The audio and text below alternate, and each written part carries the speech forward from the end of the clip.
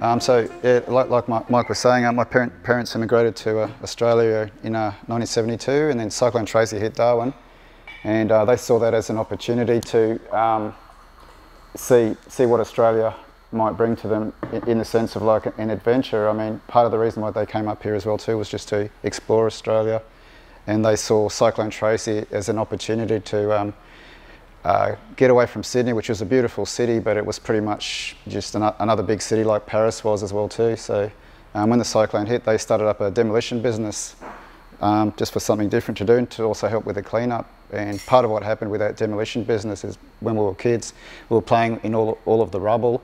And um, as you, you, probably know, um, Cyclone Tracy hit on Christmas Eve of 1974. And so there were kids' presents just strewn all, all over the place. There's like little toy soldiers and twister games, which um, I made paintings about later on to allude to, to, the cyclone. And I use the symbology of the twister game a fair bit in my work as well too.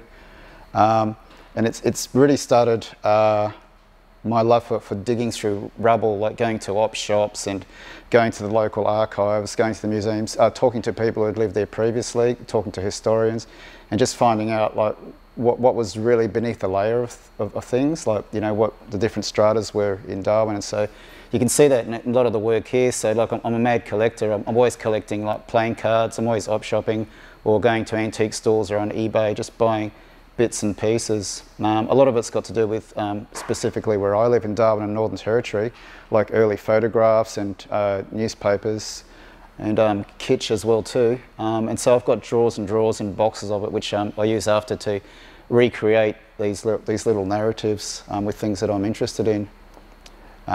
so that's pretty, pretty much where I'm at with that work. I also trained as a, as a printmaker at, at Northern Territory University. Um, I was an undergrad there from 1987 till 1992 when I graduated. Um, and for many years after that, uh, some of the people in the printmaking department started off the Aboriginal printmaking workshops up there. Um, not a very imaginative name, um, but it was a, a, really, really great place. And I, I, got to work with some, some of um, Australia's greatest artists like Kitty Kantilla and R Rover Thomas and Queenie McKenzie, and, and, you know, amongst some of them. And so, I, training as a printmaker, I, after I left the university um, as, a, as a lecturer and as a printmaker, I started off my own business as well too. And I got more into screen printing then because I trained uh, primarily as an etcher and a lithographer. And so a lot of the paintings that you see on there too, they're informed by the, the very flat colours. And a few people at the opening last night asked me how I get the colours so flat. And uh, I tried to emulate the fact that um, I, I, do a lot of screen printing work and try to create those colours again too, um, to recreate the, the printing process in a, in a way too that you get in comic books. Um, another thing about Cyclone Tracy as well too is there was relatively not a great deal to do except for play in the rubble or I think there was like ABC television and there was one local channel as well too, NTD8. So they, as far as like that kind of entertainment, there wasn't a great deal to do. So my mum would take us to the back of uh, Jingili Shops, which is a local suburb, every Tuesday and she'd give us 20 cents or 50 cents, which bought a whole stack of comic books. And we'd go back in the caravan parks, which we'd move, you know, periodically from one caravan park to the other around Darwin, um, depending on what sites they were working on at the time. And um, I, I, would just practice drawing all the time. Um, I didn't really get on with my siblings very much. I spent a lot of time on my own. I'm probably still introverted in that way. Um, and so from an early age, I was just copying um, comic books because it's something that I noticed that both of my parents did as well too. They were both they were both very, very creative, although they, they didn't encourage it at home. And I guess because they, you know, they wanted me to have better opportunities than, than to be an artist because they saw that as, you know, not a good path to go down, I guess as well too. That was um, generational as well um, from, where, from their perspective. But, you know, I, I stuck with it. And um, so that's, that's what's informed a lot of the other, the other pieces here as well too. Um, yeah, I don't, I think that the way that I prefer to do talks, now that I've just given everybody that little intro, is to, for people to ask questions, and then that will sort of like get the ball rolling and sort of. Well, just with that, I mean, mm. we, have spoken a bit about it, but can you like discuss specifically this body of work? And I mean, there, there is two, there, there's sort of two bodies of work here in, in terms of you've got the assemblages, which is a really cool explanation you have for those but with these bigger ones, can you, I mean, it's, it, it, it, it would appear quite obvious what the images are, Mm-hmm. but I know from talking to you that there's layers upon layers upon layers of, of narrative behind it. Can you talk, e- you want to talk specifically to some of the paintings? Sure. Well, um, I guess like growing up with comic books too, I was, I was really aware that they were really directed at, at um, boys and young men as well too. And although that there were female characters uh, within the comic books, they were never really the protagonists, other than in despair and not really empowered and not sort of from that kind of perspective. And, and I don't speak on behalf of being a feminist or anything else, you know, because clearly I'm male, you know, like, and I mean, I can only speak about the things that I've experienced or witnessed myself. And so I was wondering what, what it would look like to have the females as protagonists in, in all of these particular images just for a change. Um, just stories that I've heard from, you know, girlfriends, lovers, um, my mum, aunties, sisters, and just like relaying those stories back um, within the narrative as well too with some of these pictures. Um, and, and also like playing around with with different think more contemporary subjects as well too. Like um, this uh, picture here, like um, no more eggplant. So you know, I, I grew up when we had dial-up telephones, and internet was like, what's that? That's never going to take off. You know, that's just like such a strange concept. And now every, everybody's communicating with emojis, and I guess. Uh, you know, apart from the, the, the sense of humour and the, the right sense of humour and that whatever's going on in, in that narrative, it's, it's about that juncture between the, the two technologies um, that I've that I've witnessed gr- growing up over a period of time, and, and the way that we communicate as well too. So the the obvious narrative in there is a joke and the pun, but it's it's also about that transition of yeah how how we speak to each other these days. And then I was looking at different kinds of relationships as well too that people are more open uh, to talk about as well too, like lesbian relationships, like in this one here, Sappho and Erinna. Um, so I just assumed that she might be Sappho and she's waiting for Erinna to talk up, which is a famous uh, watercolour painting from 1864 by a guy called uh, Simeon Solomon. He was a pre-Raphaelite artist, uh, a, a gay pre-Raphaelite artist who was talking about these sorts of things, which um, got him into a bit of trouble and he ended up dying in poverty um, for being outspoken about those things. But Sappho was a, uh, a, um, a poet from ancient Greece who was writing a poem about how she might be able to entice Aphrodite to make her girlfriend kiss her. Um, and she was a poet on the uh, island of Lesbos. And um, I was interested in that as well too because my mum split up from my, my father um, probably about 15 years ago and she moved to Paris with her girlfriend as well too. So, and for us that was like, oh okay, as long as you're happy. But it just talks about different kinds of relationships as well too. Um, yeah, and this one here as well too, like with the, the, the, the Tinder diagrams, you know, and the one there, like you look a lot like my next mistake, the, the Tinder surprise in the back there. Um, I had a relationship breakup a few years ago after being in a long-term relationship for about 15 years, and we were with some friends at a party, and he was saying, you know, we'd had, we'd had a couple of beers, and he was going, oh, you should get on Tinder, mate. And I said, no, I don't know, it's not my kind of thing, you know, it's like, that's for all like, you know, I, I don't do that. Like, I actually like dates and coffee, and you know, like just slowly. And he goes, no, no. So we're trying to work out like a how to work it, how to work Tinder, and we're swishing through and there's guys there with little kittens and puppies, and I'm kind of going, yeah, that's a bit. like, it was just a strange experience. And he said, what, you, what should you put in your profile? And I said, oh, I know, add to cart. And then after that, we'd have a few more beers, and we thought, no, that, that's not the way to go. But I'm just really fascinated in the way that we interact with different technologies, and the way that we communicate these days is completely different. And because I guess like through my, my own visual arts practice, that's what I'm trying to do all the time is to communicate ideas. So that's a very important part of it as well too. So what's up with the um, with the, the ring of confidence? What I, I, the fact that you've actually crossed the ring out and um, and you've got I mean obviously you know Yeah. Colgate and the ring there's that Yeah. it's in the title but what what's that one about? Probably halitosis. Wasn't that in the ad, Colgate Ring of Confidence? That's right, and he's, he struck out. So, yeah, yeah, I think that date just ended then.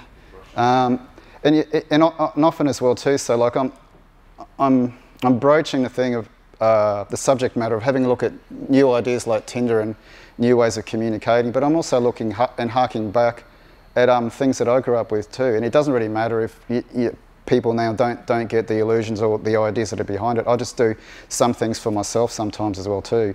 I mean, when we first um, immigrated to Australia, um, I remember we, we went out, uh, we were staying in the suburb, and there's a little creek there, and there's a corner shop. It was beautiful. I remember I ate twisties for the first time in my life, and I went, "Oh my god, this is amazing!"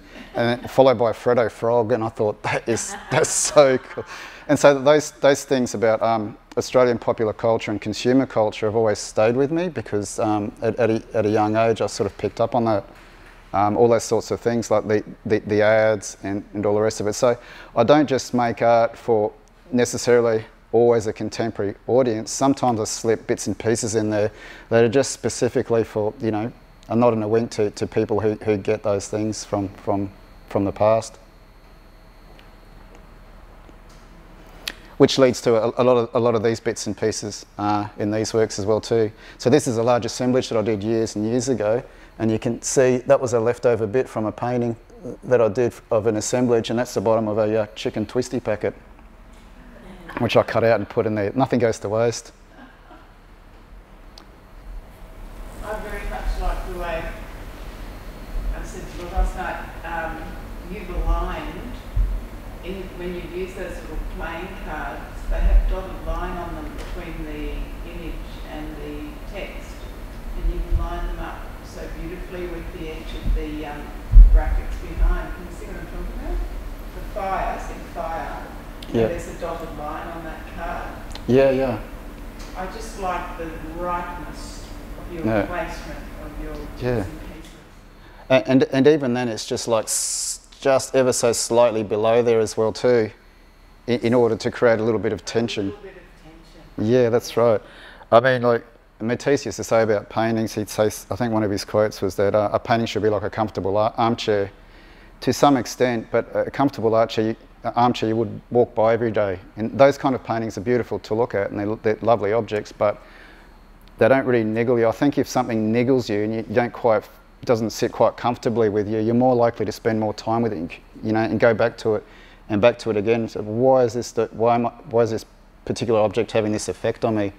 And so, like, I like to play with um, ideas of sort of like symmetry and then discord and disharmony and all that sorts of things. Playing with that as part as, as part of like um, an aesthetic device as well too, as well as the colours and the objects and the shapes as well too. It all forms part of the um, yeah, the compositional devices you can play around with. Franck, can I ask about the um, Australia stencil? Where, where did it come from? Did it have any place in your childhood? Um, it, we had those uh, in primary school a long time ago. Yeah, yeah, yeah. And so, um, so So that, was that yours, or have you just come upon one somewhere along the line? I I came upon one in um, a newsagent's that had like a dusty old box, and I found a whole box of them, so I, I bought all of them. And, um, and I was doing a lot of uh, imagery about years ago. I did an exhibition from working with an the, out in the Kimberleys for many, many years about the cattle industry up there, uh, you know, through the view of the uh, Indigenous people that, that were up there as well too, and the Wave Hill walk-offs. And so I was using these maps of Australia uh, with a spray can and just spraying over the top of them just to get those silhouettes because they, they mark themselves, they work really good for that sort of thing. And so this one's probably got a, several layers of paint on it. And then I found it in the, in the cupboard and just thought I'll, I'll screw that on there now. That's, that's, that's served its purpose. But if you go back, may I don't know, maybe in the future if they have a, another retrospective, you'll be able to see that exact map of Australia on some of my earlier paintings as well too. So everything ties back in. So e- e- even though like I I look for things like um, uh, in, in an archaeological kind of way and trying to dig through strata to find other bits and pieces to work to, to work through to create my work, you'll find that within my own work as well too. It's something that I reinform back into. But that Coke sign chopped up here Yep. in um, Bunk. Yep. I'm assuming you've recreated that sign before deconstructing it again, have you? Uh, absolutely. So these are leftovers for a, a painting that I sent over to Germany for, for a group show uh, the year before last or last year. And so they're, they're just the leftover pieces. But with this piece here, so uh, bunk, um, and then bunk being crossed out was a uh, was a very um, it was a paper that uh, a British artist Eduardo Paolozzi uh, presented over in Scotland at the time uh, in the art school that it was that he was in, And from 1957, uh, 1947 to about, I think it was 52 or 54, he created a whole bunch of uh, collages, which were the, the bunk collages. And a lot of people cite that as the very first pop art. So pop art didn't actually happen in America. Um, and Richard Hamilton, after another British artist after him, followed. And then there was Pauline Boty and Peter Blake, who designed the Sgt. Pepper's uh, cover on the record. So all these artists were creating pop art before it became a phen phenomenon in America, but the, the Americans just made it bigger and better, and you know it's all about so that, that sort of a thing. But in, in reality, um, the, the, artwork came from, um, I guess, pe people in Britain post World War II living in austerity um, and having pretty much basically stuff all to live on um, you know, finding it difficult to find food and, and, all the rest of it. And then they're looking at the Americans and their posterity and all the advertising that was coming over and all the music. And so out of that, that's what that's the context of how that, that artwork, that pop art actually became a thing to, to start off with. And then the Americans after you get Lichtenstein and, and Warhol in the early 60s having a look at that as well too, but from them actually living in amongst it and um, being insiders as opposed to being people on the outside looking at at all that um, prosperity. So that was all American and English. So, yep. but this is all. Yeah. Not. Yeah. So um, Wendy Garden from um, MAGNT, curator of uh, contemporary art at MAGNT, she did the opening last night, and she was talking about how I used the term "what if," and then through all these works here, I was also wondering what would I have done. What what kind of work would I have done if I was around in 1962 in Australia? Um, what kind of bits and pieces would I have put together and assemblages to create um, different narratives and different ideas? And, and a lot of the, a lot of these as well too are just um, then there are lots of bits and pieces that sort of like correlate together for ideas, a bit like in the same way that you would write a song or, or a poem. And so he, here's a picture of Hoges here um, from an Australasia Post magazine that's also an actual article of a guy somewhere proud of his son chuffing on a dory. It's like, it's just crazy. But, but actually, Mike said, you said that you saw that exact same thing. I, saw that magazine in my dad's That's why I stack have to get that because I think when I was about, I was around 10 or 11 years old, I actually saw that article yeah. in whatever publication. I, I saw that, that photo yeah. back yeah. in the 70s, early 70s. For some US boys. Probably doing that. No, no, but I, I remember seeing that as, a kid. I saw that actual, um, Mm. that image. So, so pretty much like a haiku or a small poem. I start off with something, and it, it, so it was just like Hoges with a the gold packet, and then I thought gold, Winnie Gold. So I just wrote the word gold in Scrabble, and then I found some, and th these are just loose pieces that I'm playing around with. And then I thought a packet of 20, so I had the number 20. I put that there, and then I thought gold, uh, the atomic, the atomic weight for gold, and the, the symbol on the periodic table, then the twisty packet, and then where there's fire, there's smoke, and so I just put smoke. And so these things just happen really, really quickly. It's just like, um, you know, beat poets, you know, you sort of like, you click your fingers and it's the very next word, or like rapping, it's the very next word that comes to your mind. To, you just grab that object and you put it down without too much thought, and then, then you can start tweaking the compositional devices a little bit more. Like even here, this, this watch from Dulux here just says True Blue on it as well too. But that's a funny thing as well too, like about like identity as well too, and trying to figure out where, where I fit in as well too, like having a European heritage you know, I don't consider myself French or Breton, which is where I was born and all my ancestors come from. Um, but it, it's, it's really funny. I always feel like I'm like a, an observer on the outside of everything that's going on. And that's probably part to do, to do with me um, being locked up in my studio for so, so much, you know, on my own as well too, just trying to be an observer of what's going on around me, listening to the news, listening to the radio and trying to get those bits and pieces together to make commentary about that. Is, oh, I was going to say, is there a connection with the scores? Like you've got, like that's 15 there and this one's 10 down here, well that's 10. Yeah. But you've got that regularly through quite a few of these assemblages. Yeah, sure. So that one could be five, but uh, or it could it could just be like five and five, and then maybe another five somewhere else, Yeah. off the edge of the picture plane as well too.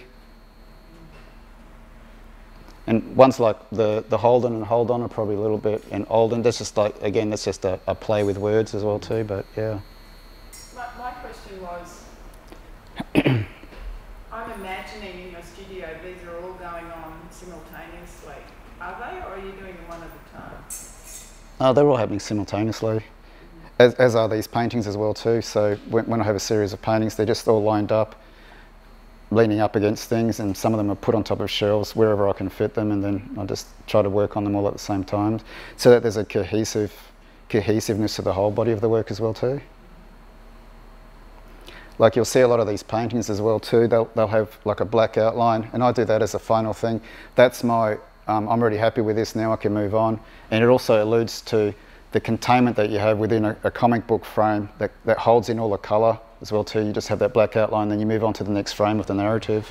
So I don't do too many wood carvings, um, but this is one that I did probably about five or six years ago, and it's based on the um, the protagonist in the movie, the tracker Gary Sweet, and how he gets his um, justice in the end um, through all the atrocities that, that were happening within that, that narrative. Um, when, when I was working in the Kimberleys, and particularly for, for many, many, in particular for many, many years, a lot of the artists that were there uh, were in, um, I guess, in living memory of um, massacres. They were, they were children and some, you know, had, had witnessed these things in the Kimberleys as well too. So there are a lot of stories that were sort of really heartfelt. When I was really young, in my early 20s, um, yeah, speaking to the old men there about things that they'd actually witnessed, it was pretty, pretty harrowing. And so I've always found that a, um, that dark history, that, that underbelly thing that sort of seemed to been glossed over until fairly recently in Australian history. Um, a really fascinating source of uh, inquiry to, to look a little bit deeper into as well too, particularly having heard stories firsthand from people. And so then it becomes a little bit more realistic than just watching a movie about it. It's, you know, when you hear it, someone actually saw that sort of stuff going on.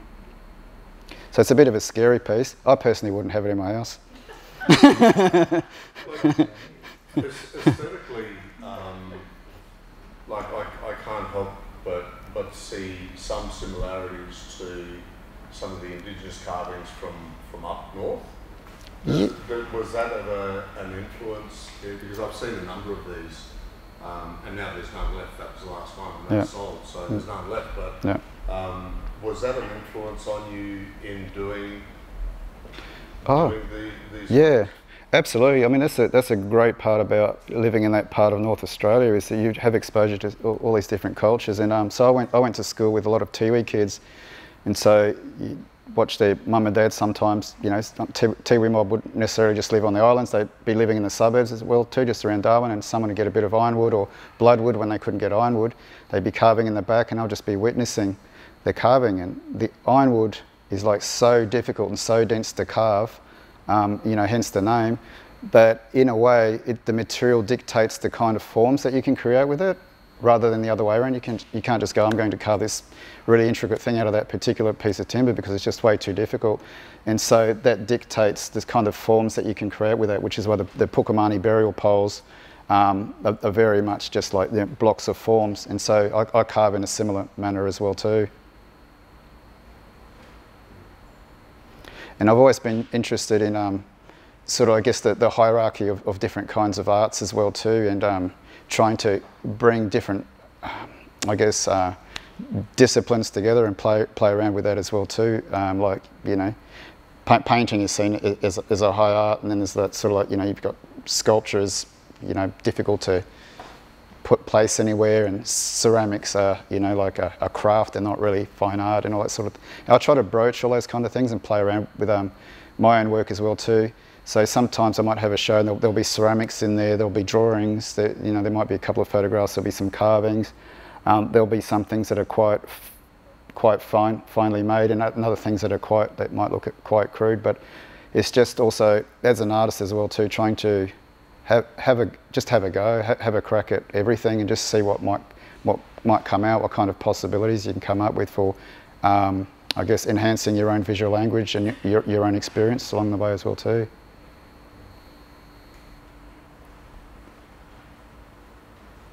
So you, you, um, you had a bit of a hiatus. You, you were showing um, uh, in Australia up until what, 10 or 12 years ago or something.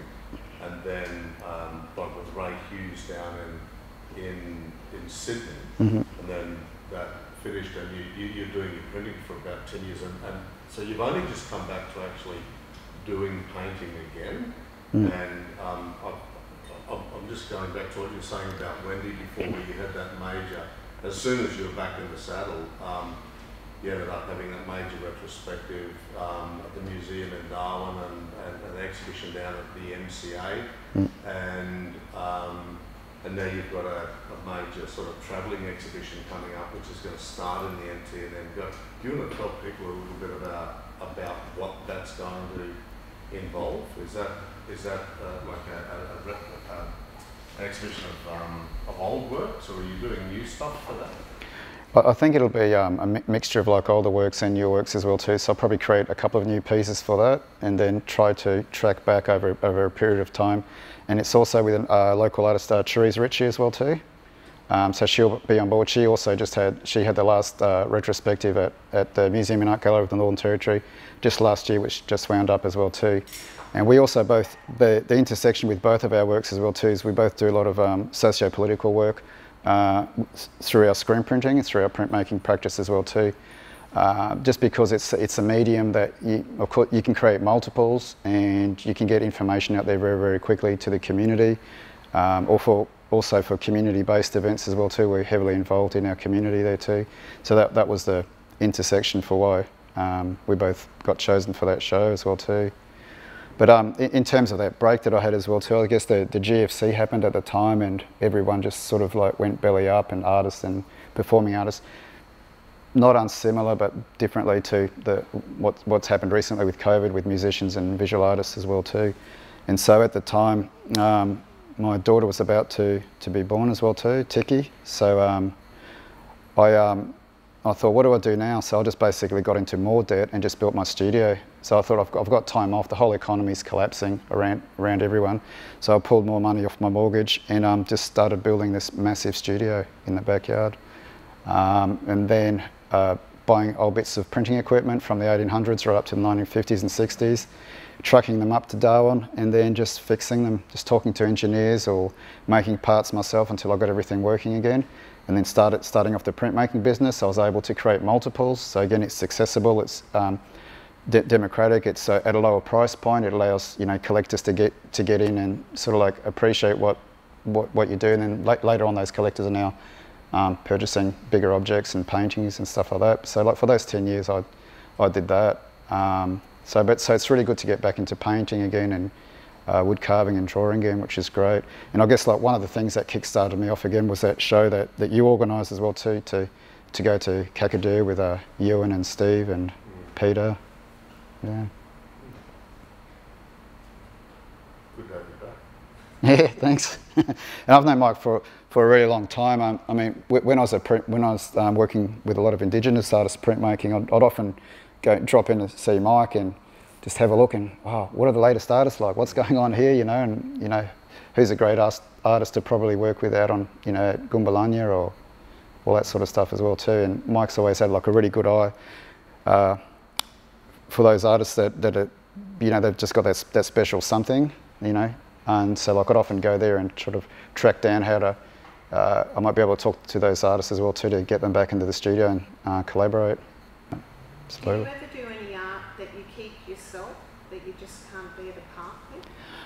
I, I, I do. I have a, I have a um, I, so I built a loft in my studio when I built the studio about 10 years ago, and that's just chockers full of stuff that I, I hang on to, which I'm slowly letting Mike have a look at. I, I had to get him in a headlock. Yeah. Like, uh, th- th- this, uh, the, the tractor's case in point, that was the, the last one. Yeah. Um, and, uh, yeah, I took a wee bit of convincing to, to, to, to move that one, so, and then, yeah. Yeah. so, fingers crossed he might do some more.